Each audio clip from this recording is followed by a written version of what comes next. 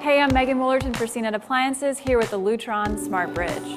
This $150 gizmo gives Lutron brand dimmers and other products smart functionality.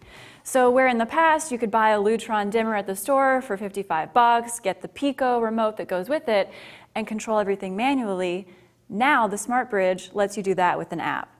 I really loved this app. It's really intuitive, it looks nice, and it makes it so, so simple to use. This works with the plug-in module or the in-wall unit that you have to install.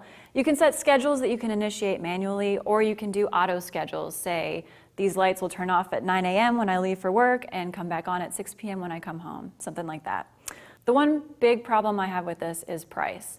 You can get a Belkin Wemo smart plug for 50 bucks that has built-in Wi-Fi capabilities and be able to turn your lights on and off from an app remotely. Since these Lutron dimmers are actually dumb, they don't have built-in Wi-Fi capabilities, you have to spend the extra 150 bucks for this smart bridge to get that capability. So that's a bit of a bummer.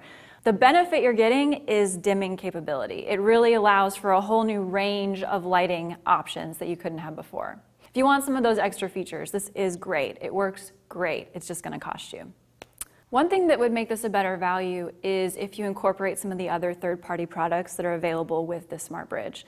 For example, there are Serena battery-powered shades that can be installed on your windows, and you can use the app, the regular Lutron app that you use for these plugs, to lift your shades up and down on a schedule.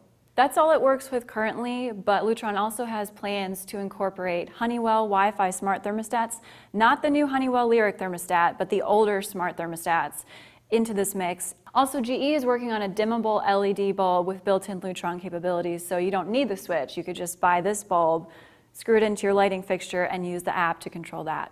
So this Lutron Smart Bridge isn't coming out until September 1st, so you have a little time to think about if it makes sense for your home. You could always just spend, you know, the 55 bucks, get one of these and see how you like it, and then add on the Smart Bridge later on. But overall, I love this product. I love the app. I think it's great, even though it's really pricey.